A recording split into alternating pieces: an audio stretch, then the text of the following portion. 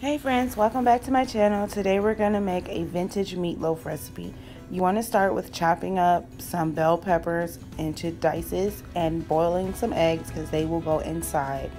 You gather your ground beef, onion soup, as well as some raw eggs and any seasonings that you would like. I'm going to have mashed potatoes and broccoli on the side. You can have whatever sides that you want, but those are traditional sides. So first you want to take the ground beef and season it with whatever seasonings that you like. I like to use regular old salt and pepper as well as garlic salt and any other seasoning salt blend that I happen to be using at the time. I use a little bit of rosemary just to give it a herby taste as well as parsley. I find that it freshens it. And I went ahead and added a little bit of freshly chopped garlic as well as some finely chopped onions.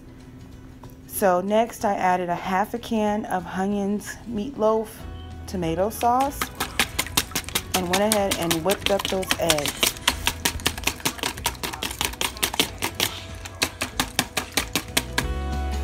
This is a picture from the magazine that I got the recipe from. There were actually two recipes and I combined the elements between the two. Add the beaten egg to the mixture. I also read that it's best if you let it get to room temperature. Also at this time add the onion soup mix. Next add the breadcrumbs or crackers crushed up. I prefer using crumpled saltines. Next in are your peppers.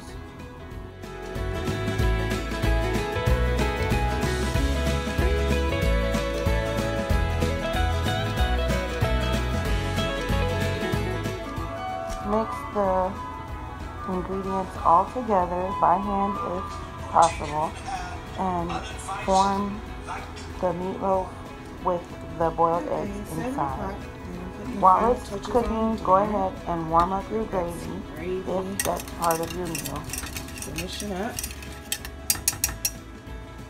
Bake your meatloaf on 375 for 30 to 40 minutes and enjoy.